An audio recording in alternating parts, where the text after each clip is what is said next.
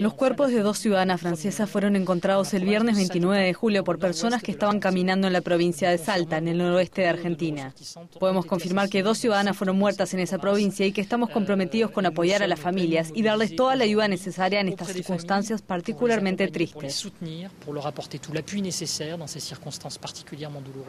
Estamos trabajando estrechamente con las autoridades policiales y judiciales en Argentina para establecer las circunstancias de este doble asesinato, identificar él o los responsables y llevarlos ante la justicia.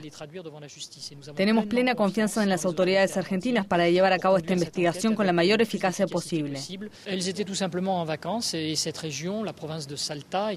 Simplemente estaban de vacaciones y esta región, la provincia de Salta, es una región muy turística con un interesante patrimonio local, paisajes hermosos, está muy bien conservado.